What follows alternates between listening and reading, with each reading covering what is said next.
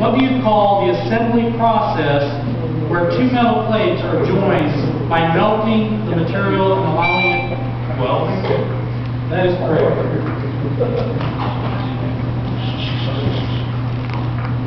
Next question from the area of professional technology education. Name the professional honorary society that recognizes scholarship with technology-based fields of study. Epsilon Pi Tau. That is correct.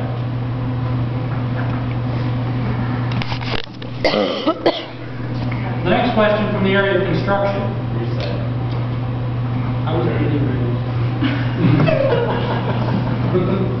Cable stayed, cantilever, and arch are familiar types of what form of structure? Bridge. That is correct.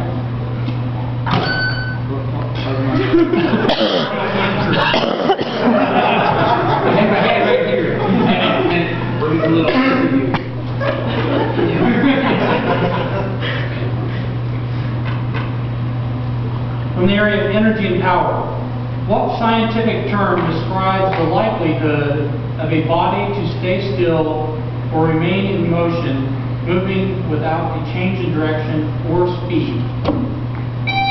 Inertia. That is correct.